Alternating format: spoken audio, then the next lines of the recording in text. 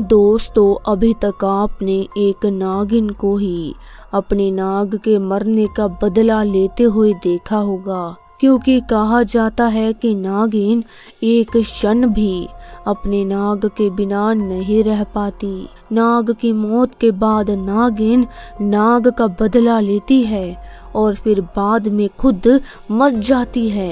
दोस्तों नाग नागिन का प्रेम अटूट होता है। इसलिए अगर कोई व्यक्ति इन्हें कोई नुकसान पहुंचाता है तब ये अपना बदला बहुत ही भयानक तरीके से लेते हैं। परंतु शपरोली क्षेत्र के गाँव में अनोखी ही सच्ची घटना सामने आई है, जहाँ एक नागिन के ऊपर बाइक चढ़ने की वजह से मौत हो गई। परंतु फिर उसके प्रेमी नाग ने जो गाँव वालों के साथ किया, उसे जिसने भी सुना, डर से काँप गया। दरअसल शपरोली में रहने वाले दो भाई, अजय और विनय, किसी काम से दूसरे गाँव जा रहे थे।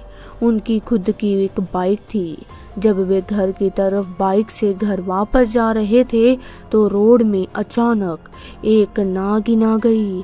क्योंकि बाइक स्पीड पे थी तो पता ही नहीं चला कब नागिन गाड़ी के नीचे आ गई है।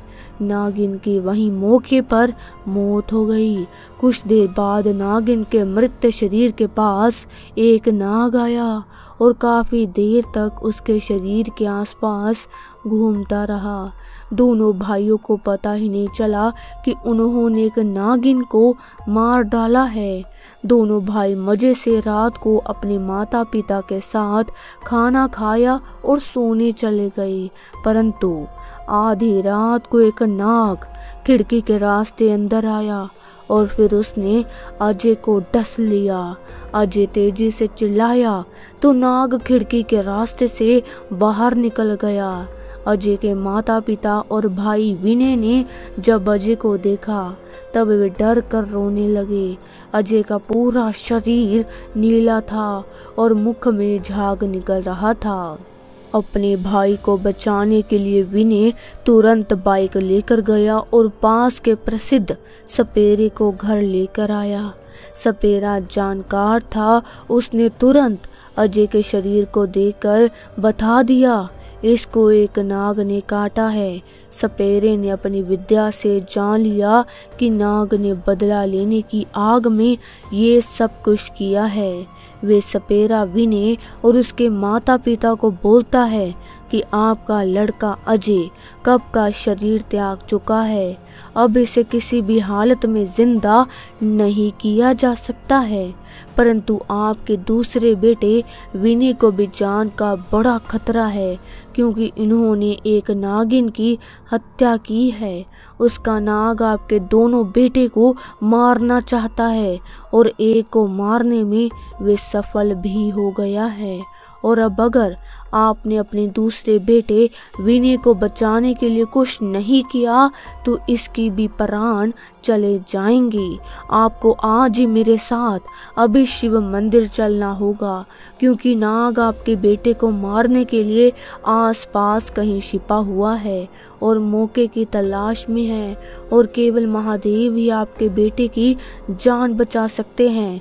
ये सब सुनकर विनय के माता पिता के तो होश उड़ गए। अभी एक जवान बेटा मरा और दूसरे बेटे के प्राणों का खतरा उन्हें वैसे ही किया जैसा, उस सपेरे ने कहा। वे उस मंदिर पहुँचे, सपेरे ने कहा कि महामृत्युंजय मंत्र का ज़ोर ज़ोर से 108 बार जप करना है।